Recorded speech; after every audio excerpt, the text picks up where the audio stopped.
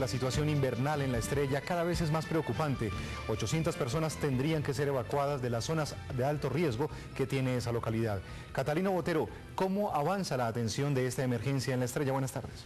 Compañeros, muy buenas tardes. Pues la situación en el municipio de La Estrella es desoladora. Las caras de angustia y de tristeza se evidencian en los más de mil siderenses que deberán evacuar sus viviendas en pocas horas por encontrarse en situación de riesgo.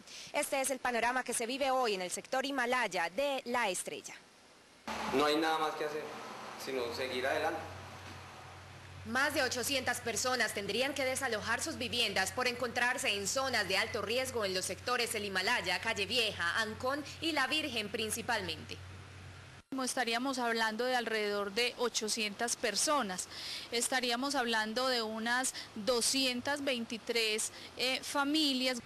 Los más damnificados claman por una ayuda, pues hace más de 12 días sus vidas tienen un rumbo incierto es que no, como no quedó nada, entonces uno es como esperando a ver qué va a pasar, qué va a pasar, qué va a pasar y, y no pasa nada. Señorita, yo voy a sacar las cosas de la casa, ¿dónde las voy a meter?